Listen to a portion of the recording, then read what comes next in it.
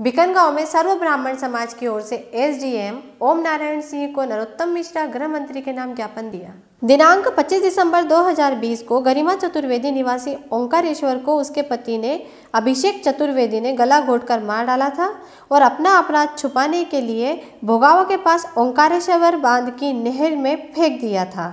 ज्ञापन दिए जाने वालों में पवन चौबे, संतोष महाराज, मोहन मार्केंडे बबलू पंडित, दिनेश शर्मा और बड़ी तादाद में महिलाएँ उपस्थित। थी बिकन गाँव से पीयूष अग्रवाल की रिपोर्ट।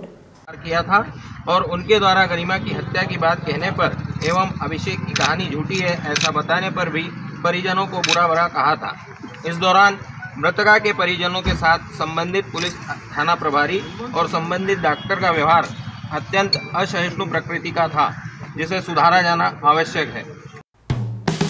हेलो फ्रेंड्स आप देख रहे हैं हमारा channel S W twenty four news हमारे सारे वीडियो सबसे पहले देखने के लिए आप हमारे चैनल को सब्सक्राइब करें और पास में लगे बेल आइकन को दबाना बिल्कुल भी ना भूलें।